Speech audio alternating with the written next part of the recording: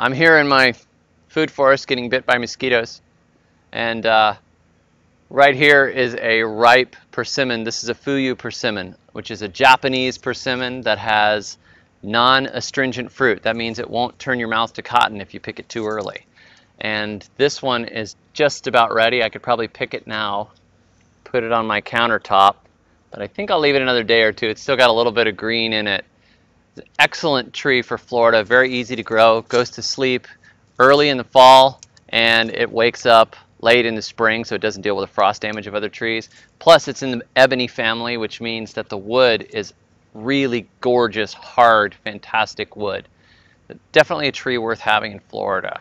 So plant yourself one of these and you will be eating sweet fruit. It's about the closest thing to a mango you can grow in North Florida.